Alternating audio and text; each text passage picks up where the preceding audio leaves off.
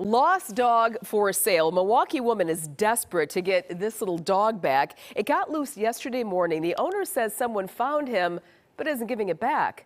Fox 6's Ashley Sears live tonight and explains the pup is for sale on Facebook. Mary, she says someone is trying to sell her lost dog and she reported it to police. Now she just wants to get that puppy back home. Where's your ball? Go get your ball. Come on. It's only been a few days, but little Marty has brought a lot of joy to Leah Benoit and her mother. He's very active, he's hyper, he loves playing. Marty!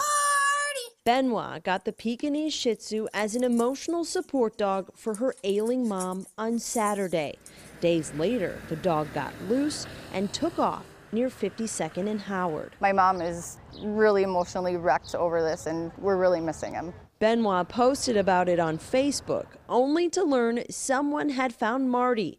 Instead of returning the dog, they were trying to sell him. It was heartbreaking, and I can't believe that somebody in their right mind would even do that. Like, I don't understand it. She found this video, she says, shows a Milwaukee man posting about her dog for sale.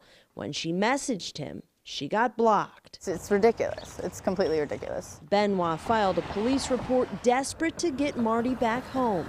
Police are now investigating, looking for the man and the dog. I'm not here to cause any trouble. I just want my dog back. That's that's really it. Benoit is staying optimistic that someone knows something so that little Marty can be back with family.